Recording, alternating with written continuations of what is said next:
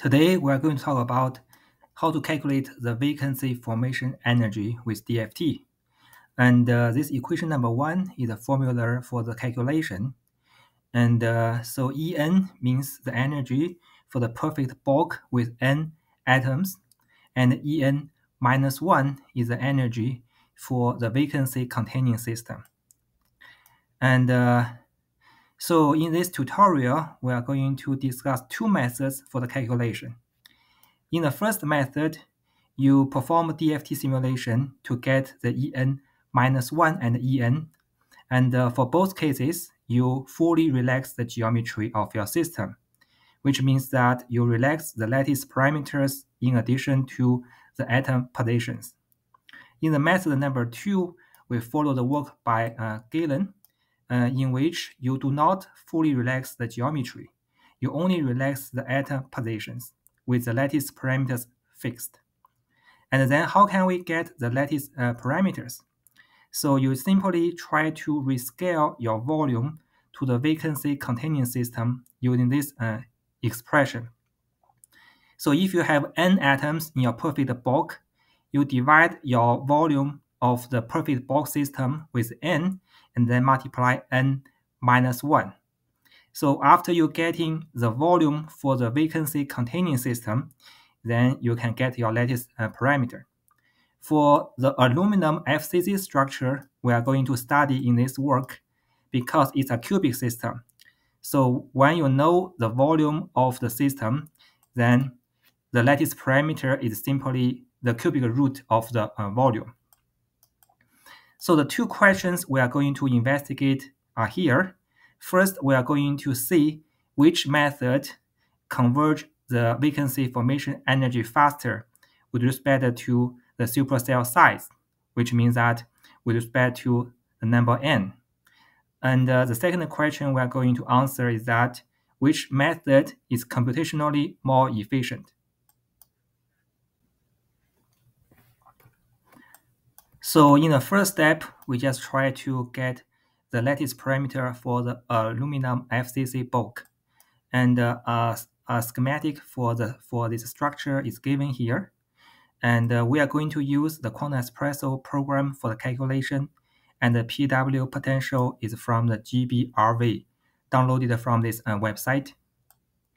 And uh, so I gave the Quantum Espresso input file here.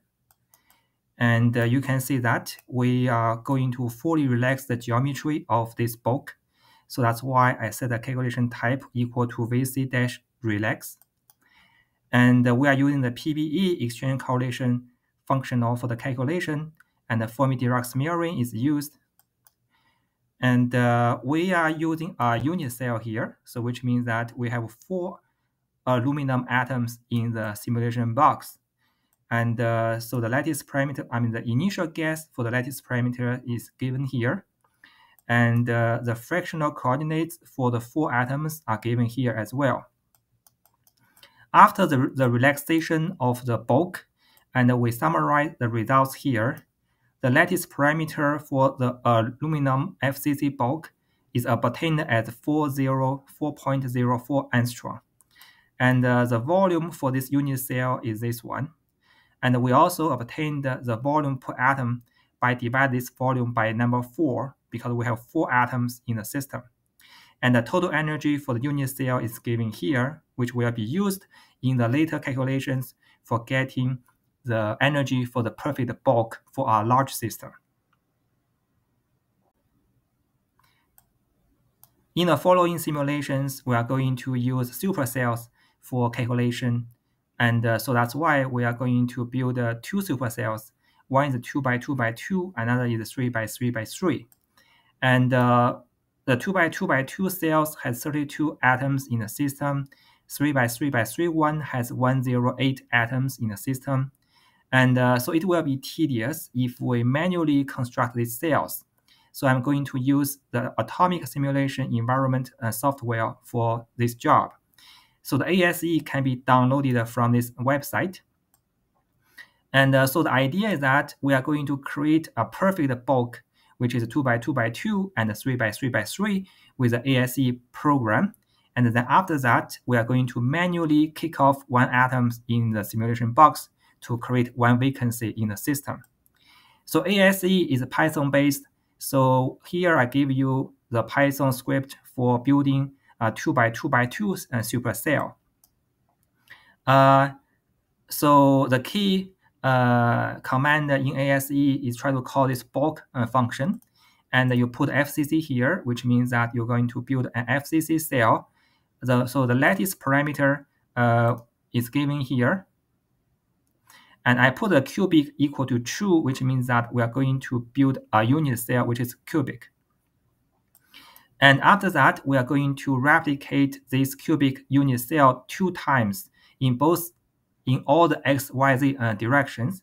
So I call this repeat function in ASE. I put a 2 here, means that we are going to repeat it two times in all the directions. So if you want to build a 3 by 3 by 3 supercells in the future, you just need to replace this number 2 with number 3. In the end, I call this function to write the geometry in the VASP uh, format. So basically speaking that the format will be POSCAR. And then you just extract uh, the information from POSCAR to Quantum Espresso. Next step, we are going to use the method one to calculate the vacancy formation energy. So we are going to demonstrate the method one uh, on the 2 by 2 by 2 supercell system. So here I give you the input file for the Quantum Espresso that fully relax the 2 by 2 by 2 vacancy system. And uh, you see that I still put this vc-relax keyword for the calculation command here. And uh, because we have doubled the lattice parameter in all the directions, so you can have your k-point mesh. In the previous calculation, we used 12 by 12 by 12 k-point mesh. So now we can use a k-point mesh, which is 6 by 6 by 6. And then you double your lattice parameters here. And you also and copy and, and paste your 2 by 2 by 2 uh, supercell constructed by ASE here. Uh, you see that I uh, don't have one atom at 0, 0, 0 because I kicked off that atom from here to make one vacancy. And here is a picture to show you the structure. You can see that we don't have one atom here. That's one vacancy in my system. So after the calculation, I put the energy here. So this is the energy for the fully relaxed vacancy system 2 by 2 by 2. And uh, for the bulk system 2 by 2 by 2, the perfect bulk 2 by 2 by 2, I simply just uh, multiply the unit cell energy, this one, by 8 because we replicate this cell two times in all the directions. And so you will get this uh, number. And uh, then you can plug in this number and this number into the equation 1 and n equals to 32 in this case because you have four atoms in the unit cell and now you replicate your unit cell two times in all the directions. So total number of atoms in your system is 4 times 2 times 2 times 2, that is 32. So then you get your vacancy formation energy, uh, which is this number, 0 0.632.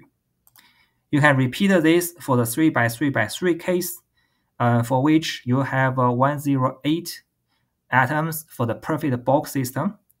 For the vacancy system, you have one atom missing, so you have 107 atoms in the vacancy system.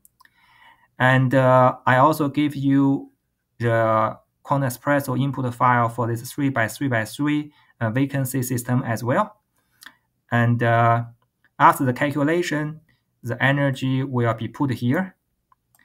So the energy for the perfect bulk whose size is 3 by 3 by 3 can be obtained by multiplying the energy for the uh, unit cell by 27 because 3 by 3 by 3 is 27. So then you plug in this number and this number, these two numbers, into the vacancy calculation energy equation, equation 1, and uh, you will get uh, the vacancy formation energy 0.654. You can see that uh, the convergence of the energy of, of the vacancy formation energy for the method 1 uh, converges from the bottom, right? Because this number is smaller than this one. And I also list uh, the experimental uh, values here. So you can see that uh, this number 0.654 is close to the experimental values.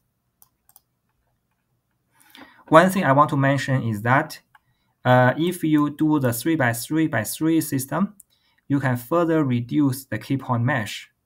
In the previous case, we used a 12 by 12 by 12 k-point mesh for the unit cell. And now because we triple the, the cell in all the dimensions, so then you can do 12 divided by 3. You can do a 4 by 4 by 4 uh, k-point mesh.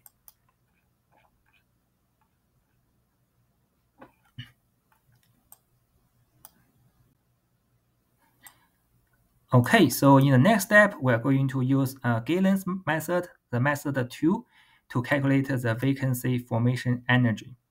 And uh, in the method 2, you don't need to fully relax the lattice parameters you just rescale your perfect cell to get the lattice parameter for the vacancy system.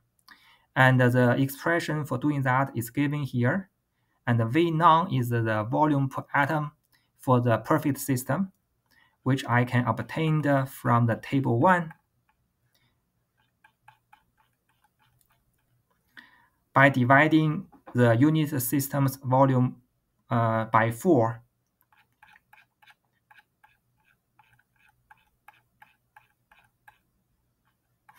And after that, you multiply the number of atoms in the vacancy uh, system. And uh, for the 2 by 2 by 2 system, you have uh, 31 atoms in the system. For 3 by 3 by 3 system, you have 107 atoms in the system. So then you take the cubic root to get the lattice parameter for the vacancy system. And the results are summarized here. So here I give you the quantum espresso input for relaxing the 2 by 2 by 2 system because for the method 2, we don't relax the lattice parameters. So that's why I put the calculation keyword to relax, which means that we only relax the positions of the atoms in the system. And we know that the lattice parameter calculated from this equation will be 7.997 angstrom. So that's why I put a 7.997 angstrom here in this block and uh, then do the calculation. And the results are summarized here.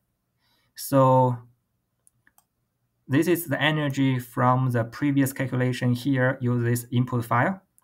And you can do the similar calculation by using 12.085 angstrom as the lattice uh, parameter for the vacancy system, and then the energy you can put it here. Whenever you finish this table, you can compute your vacancy formation energy, which is 0.701 for the 2 by 2 by 2 case, and it's 0.677 for the 3 by 3 by 3 case. And you can see that now the convergence trend is different from the method 1. For the method 2, it converges from the top. You see this number 0.677 is smaller than this number. And uh, it doesn't matter which direction it uh, converges, either from the top or from the bottom. And the method 2 also is very close to the experimental uh, results.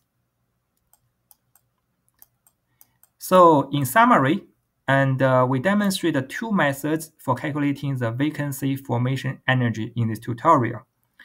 And uh, both methods can converge to the formation energy if we uh, use a, a bigger uh, supercell. And uh, for the method one, in which you relax everything, including the lattice parameters, and uh, the vacancy formation energy converges from the bottom. For the method 2, due to uh, Gillan, and uh, the vacancy formation energy converges from the top. And I would say that the convergence rate of both methods are similar with respect to n, because if I go from 2 by 2 by 2 to 3 by 3 by 3, Gillan's method will make the formation energy decrease by about 0.02 for the method 2. And for the method 1, it converges from the bottom. And if I go from 2 by 2 by 2 cell to 3 by 3 by 3 cell, the vacancy formation energy will also increase by about 0.02. So that's why I'm saying that both methods actually convergence rate for them are very similar against the n. So which method then should we use in practice for the calculation? I think Gillan's method is better because for his method, you only relax the atom uh, positions.